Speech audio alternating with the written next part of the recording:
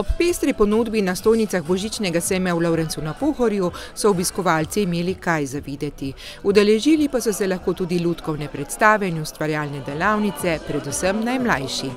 Na delavnici so otroci izdelovali izdelk, izdelke iz recikliranega džinsa, v bistvu okraske, ki jih lahko vidite na smrečici tam zadaj, eh, in pa lutkovno predstavo v izvedbi lutkovne skupine Sovice.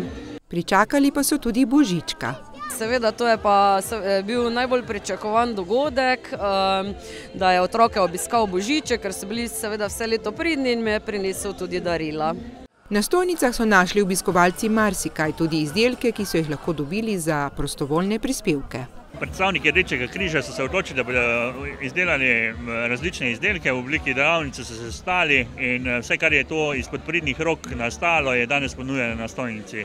Prispevki pa seveda grejo v dobrodelni namen, pomoč družinam in tistim, ki v teh decembrskih dneh še krepko potrebujejo našo pomoč.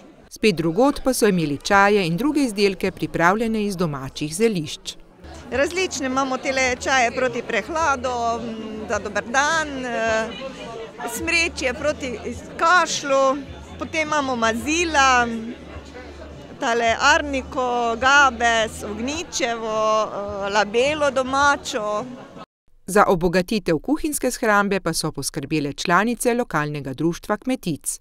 Ja, mi smo pripravili ribane kašice, rezance, nogavice naštrikane, pol imamo za grimpe po domače, pa orehe, pa nekaj pa že smo prodali.